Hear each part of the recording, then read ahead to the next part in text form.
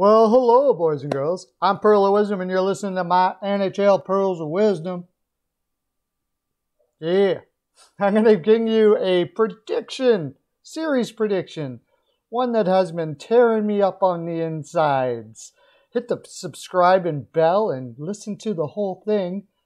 And then at the end, I'll give you my prediction, and we'll all have a little Pearlo dance together. Yeah, buddy.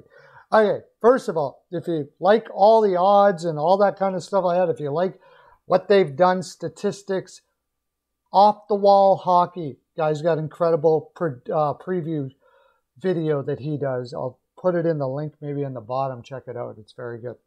Okay, Montreal basically all the way through here has beat the odds. And if you watch, I did a video on my take on how Montreal got here, and a lot of it to me had to do with Corey Perry. Corey Perry uh, is a big reason, not the only reason. Probably Price is the biggest reason. Fantastic goaltender. On Tampa Bay side, yeah, Vasilevskiy, just as fantastic a goaltender. Paper to paper, simple. I can show you all the stats if you want, but the fact of the matter is, Tampa Bay, on paper, Kucherov, Point, Palat, Stamkos, Hedman, McDonagh, the list goes on. On paper, they have a better team. There's no doubt about it. You could say the same about Vegas, though. And you probably could have made a really case about Winnipeg before Scheifele went down. Everybody was picking Toronto. So, how is Montreal going to win this if they're going to win it? They're going to do the same thing, I believe, that they did all the way along here, and they're going to get guys off their game. Perry is a genius at that. Like I said, I did a video on it, shows you kind of a little bit deeper how Perry does what he does and gets especially the big players like Stone and Pacioretty in the last series off their game.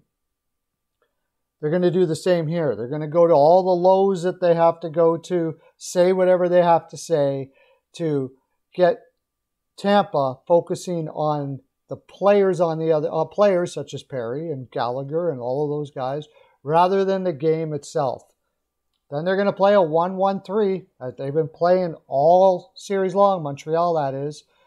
1 1 3, the way you beat it is you open up the ice and you draw as many forwards into the uh, offensive part of the neutral zone as you can and play the long pass. Carolina plays a simpler thing, sim- similar thing like that. Tampa Bay beat them that way. I imagine Tampa Bay is going to do it, try to do it again. They have awesome defensemen for first passes out of the zone, and uh, then Montreal's got to try to intercept those passes. Now, the one of the best teams in the league at doing that very thing is the New York Islanders, and Tampa Bay figured out a way against them. Montreal will again play the one three one one one three, and they're also going to ride a unbelievable confidence that they have in themselves. Uh, they, uh, what I love most about the Canadiens, especially Perry, is there's not very many ups. There's no not many ups and not many downs. You don't see them shaking their head on the ice and oh, why did that happen? They're mentally right now, Montreal is in the perfect spot. Tampa Bay, really, I have seen them kind of get like that on and off, but they have the talent to get over that hump. Question is, are they going to be able to do it against Montreal? Um, in all honesty, up until now, they have Montreal probably has the most offensive talent that they've gone up against. Uh, Florida did have some offensive threats, um, however, their defense wasn't very good at moving the puck out of the back end. Montreal is better at that by for sure, but they're much bigger. It's the biggest defense Tampa Bay has gone up against.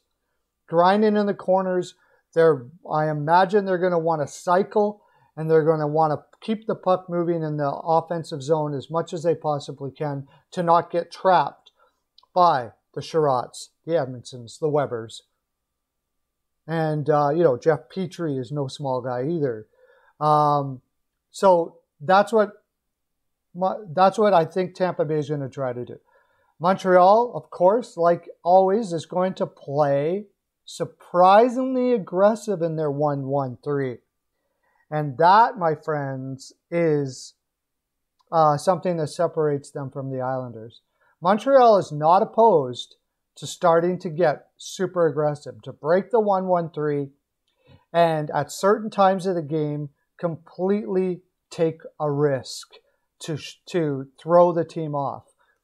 And that's what Tampa Bay is going to have to combat. So the question is who's going to win this series? Well, I haven't been picking Montreal all the way through, I have to admit. And uh, I'm probably not going to pick them here. I think it's going to be Tampa Bay in seven, but I'm not confident. To me, it's a coin flip, really. Uh, when you have Price and Vasilevskiy, Price playing the way he's playing right now, Vasilevskiy playing the way he always does, this tight tight games, hard to score, bounces can happen any which way. This feels like a really a toss-up series, which is amazing when you consider where Montreal came from. But it's true, and I, I do believe that uh, they're going to put up a big fight. It wouldn't surprise me if Montreal won. I'm just going to lean Tampa Bay because of, first of all, the experience they won last year. They've been here before. And second of all, they're over, they really do have overwhelming talent on, especially in their top six. Uh, and even in defense as well. On paper, they beat Montreal. I'd be excited if Montreal won. I'll be rooting for Montreal, but I'm taking Tampa Bay in seven. That's my full 42. Come to my live, which is on in about an hour and a half, and weekdays between 3 and 5. We talk about this very thing. I have special guests on. Uh, it's interactive, so we talk a lot with people in the comment section. We bounce back and forth, trade ideas for the off season. We got the draft coming up, all kinds of excitement there will be frolic. You should really go there and check it out.